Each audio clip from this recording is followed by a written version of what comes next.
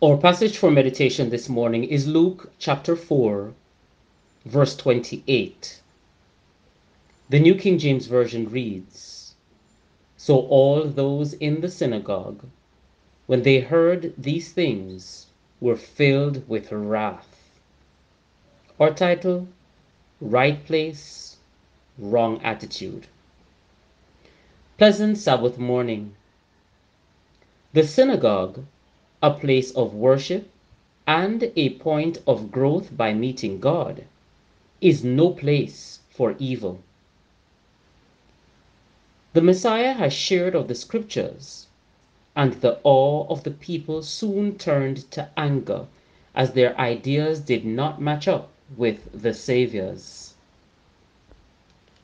How can it be that in the house of God there is wrath directed at the Son of God or any other child of God.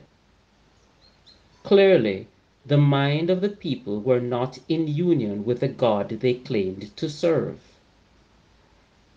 Without connection with Christ, evil attributes within will surface.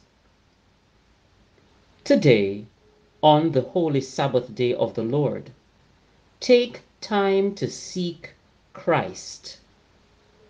Draw closer to Him, not throw Him out of your worship experience and, in reality, out of your life.